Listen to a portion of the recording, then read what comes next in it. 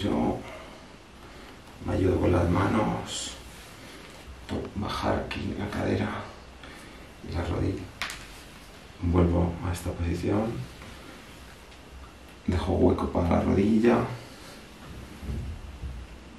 y desde aquí puedo extender la cadera, subir y bajar vuelvo.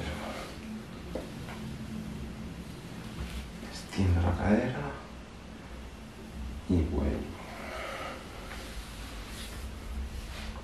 Otro ejercicio para la cadera, así hacia adentro.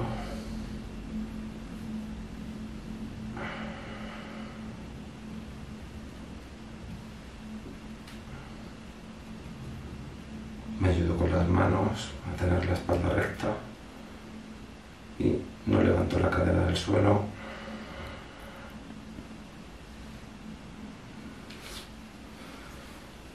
Ejercicio desde aquí.